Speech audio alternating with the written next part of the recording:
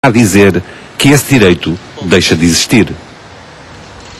E contra estes cortes no ensino superior, os estudantes universitários convocaram uma manifestação nacional, um protesto agendado para o dia 22 de novembro, em Lisboa.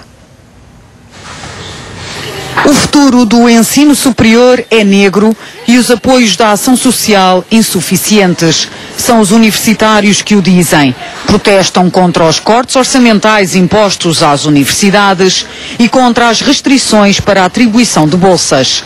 João Santos, estudante do ensino superior, não tem direito à bolsa devido a uma dívida contraída pelos pais à segurança social.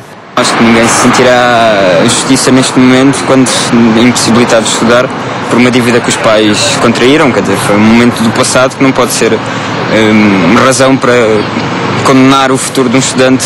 A solução passaria por desistir do curso de ciência política ou pedir um empréstimo bancário. O futuro é negro, portanto, contrair uma dívida em que os juros vão aumentar de uma forma, uma velocidade vertiginosa, quando acabar o curso não ter emprego, já ter uma dívida é condenar o futuro. Estima-se que 12 mil estudantes devam 200 milhões de euros à banca para, para, poder, para poderem estar no ensino superior. O que nós assistimos são estudantes que têm de se endividar porque as suas famílias não podem, não, não têm dinheiro suficiente para pagar os custos associados ao ensino superior e, portanto, vão se endividar e, quando saírem das faculdades, vão chegar ao mercado de trabalho com uma dívida que já vem de trás.